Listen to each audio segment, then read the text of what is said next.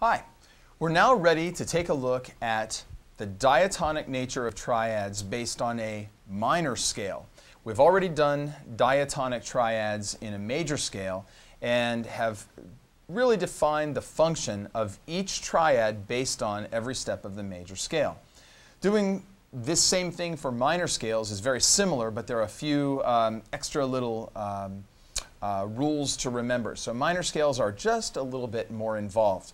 So let's take a look at the theory and begin to understand the concept. If we take a look at our staff, let's go ahead and write out a minor scale based on um, the key of A natural minor. Now, I choose the A minor scale because it is, uh, has a key signature of no sharps and no flats. It's kind of easy to remember. So we're going to start with the note A then the note B, C, D, E, F, G, and A.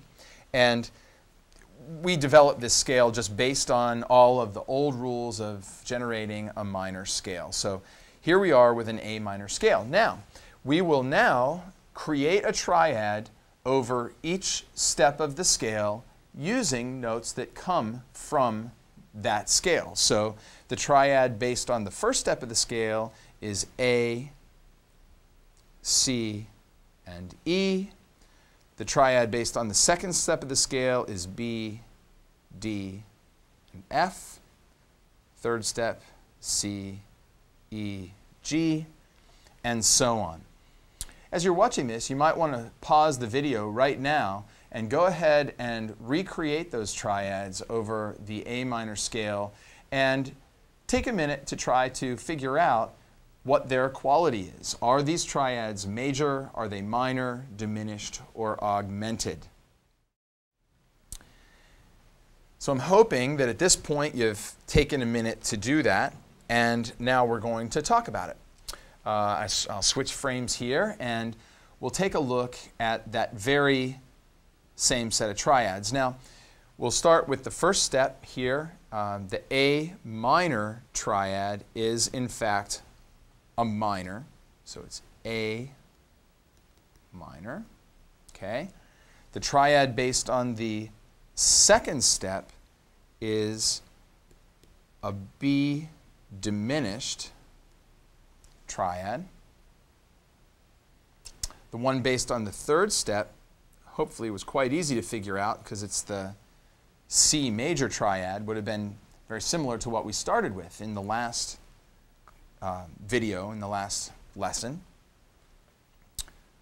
The fourth step is a minor triad. Now, the fifth step is an interesting one because if we just left the fifth step as is, it would be a minor triad. However, in a minor key, we are always going to raise the third of that triad to create a major triad. It gives more of a pull back to the tonic when we do that. So that um, is one of the first changes that we're going to note is that the fifth step, we're going to raise the third to create a major triad as opposed to a minor. Okay? We go on to the sixth step, and it naturally gives us a major triad. Okay? We go to the seventh step, and it would be, if we left it alone, it would also be a major triad. But you'll notice already that I have uh, sharped that the root of the triad based on the seventh step. And that's very important because it creates a diminished triad at the seventh step.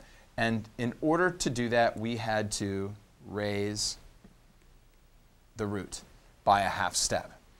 What this really does is allows the five chord and the seven chord to have real pull for us back to the tonic you'll notice that the note that's been altered in both of these cases is the seventh step of the scale. If it's an A minor scale, A, B, C, D, E, F, G sharp is the seventh step of the scale, and here's the G sharp. It's what we call a leading tone.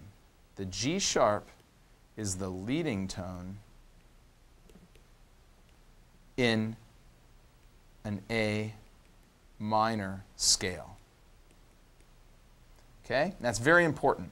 So, and that will be the case with all of our minor scales and harmonies that we write. And of course, the last one there is A minor again, or a minor 1. This will be the case for all of your minor diatonic triads. Now, I've gone ahead and created um, uh, another scale, another minor scale, and the diatonic triads. I used the same key signature that we used in the last lesson. Two sharps would be either D major or B minor. In this case, we're dealing with a B minor scale. So the one chord is a minor. The two chord is diminished. And in case you're glancing at that and just looking at that, remember that that is C sharp because of the C signature, key signature, C sharp, E, and a G, which gives us a diminished triad. The third step is major, D, F sharp, and A, again based on the key signature. The fourth step is minor. The fifth step would have been minor, but we went ahead and altered the third. We raised the third to create a major triad, F sharp, A sharp, and C sharp. The sixth step comes out major right off the bat. The seventh step, whoops, looks like I have an error in my uh, uh, PowerPoint presentation. This would not be a sharp in the middle, it should be a sharp down here on the bottom. The C was already sharp based on the key signature. It should be A sharp, C, E, which gives us a diminished 7 chord. And then the 1 chord is minor. Now these principles hold true for the minor key anytime we're creating diatonic triads in a minor key. The 1 is minor, the 2 is diminished, 3 is major, 4 is minor, 5 is major, 6 is major, and the 7 is diminished. And that fifth, the, the 5 chord and the 7 chord have an altered tone in each of them. One thing that I'd like you to know also is that each of these steps of the scale have a name or a role. We call the first step of the scale the tonic. We call the second step of the scale the supertonic. Third step is known as the mediant. The fourth step is the subdominant.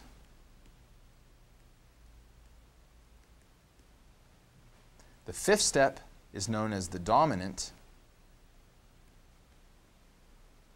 The sixth step is known as the submediant. The seventh step is known as the leading tone. And that is the role or the name of the role of each step of the scale. That leading tone in the seventh is really, really important. Typically, tonic is what we think of as the sort of home base.